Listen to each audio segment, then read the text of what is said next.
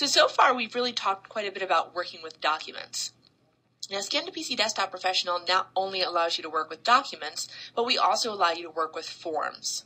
All right, so we're going to spend some time now focused on forms. Now, as I mentioned earlier, um, within Scan to PC Desktop Professional, we provide the ability to scan directly to a fillable form. So again, if I was actually doing this demonstration for you live in a um, in a demo room with a Xerox device, I would walk over to the Xerox device with the hard copy form in my hand, load it into the document feeder, select the um, fillable form button on the Xerox device, press the green button, and what would be delivered back to my desktop PC is a fillable PDF form. So I will go ahead and demonstrate that for you now here. So here I have just a kind of a, a, a general form, right?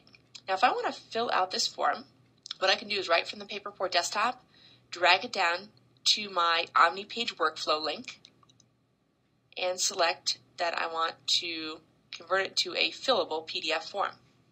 It saved a fillable PDF version of the form to the Paperport desktop. I can now open that up in the free Adobe Reader.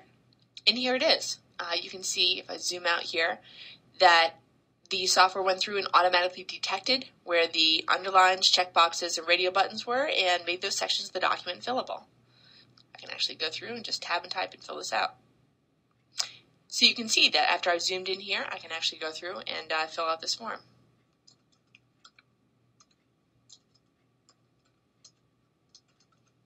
Tab and type simple. The other nice thing is this is a fillable PDF form, which means I can send this form off to anyone and they can tab and type and fill out my form on their PC simply by opening up my form in the free Adobe Reader. That is one way that we work with forms. Is we allow you to scan to a fillable PDF form. What we also allow you to do is we allow you to take existing forms and collect data from those forms. So let's say I actually have a form and I had several people fill out this form for me. All right, so maybe I have, you know, four different versions of this form. Now I want to emphasize that they would have had to have filled it in um, using typed text. It will not recognize handwriting. It will only recognize typed in machine printed text. What I can do is I can take those hard copy forms, scan them in through my Xerox device, and Scan to PC Desktop will actually collect the data from that form and save it out into a CSV file, a comma separated value file that can be opened up in Microsoft Excel. So here I have a form, and this is a scanned in form that five different people have filled out. Okay, so let's say I already scanned this information in.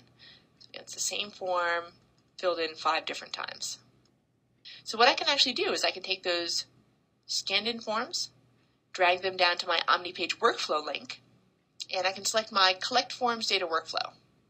Okay, and I can open up this file in Microsoft Excel, and you can see all of the filled in data appears.